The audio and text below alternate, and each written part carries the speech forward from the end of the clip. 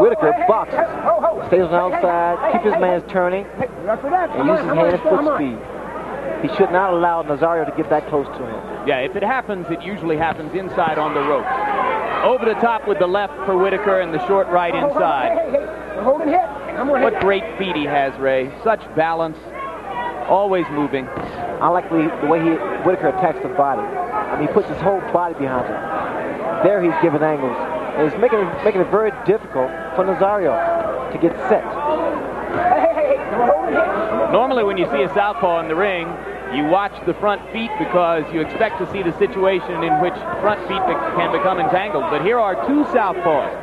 It's just like two conventional fighters going against one another. That was the body shots. Beautiful execution of shots to the body by Whitaker. When you hear a guy say get, he gets his whole body into, the, into a punch, Whitaker does just that.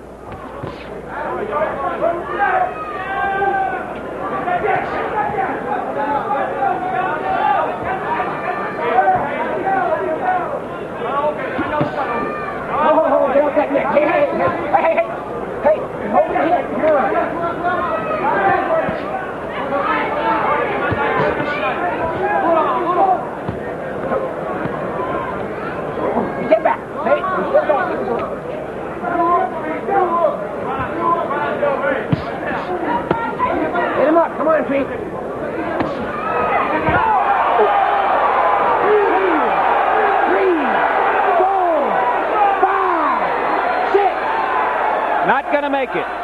Six, seven, eight, nine, Not going to make it. Ten. This is a first round knockout for Pernell Whitaker.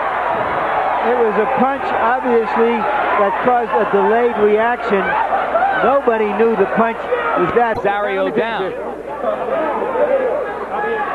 Let's take a look at a replay and see what happened. The whole time, Pernell Whitaker had control. I mean, he worked the body of Nazario. He laid back, a lot of feints, and come with that beautiful overhand left.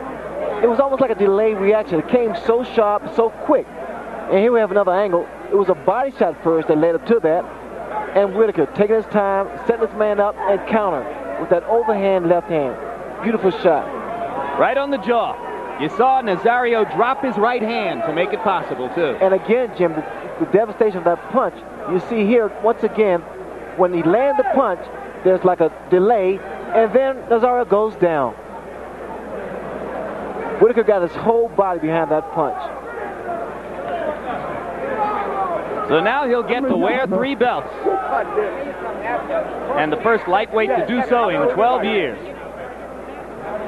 Here are the quickest knockouts in the history of lightweight title defenses, and this 2 minute 59 second job is not in the same statistical league with some of the others that you're seeing here, but it makes its mark getting into the top 10 quickest knockouts in lightweight title fights.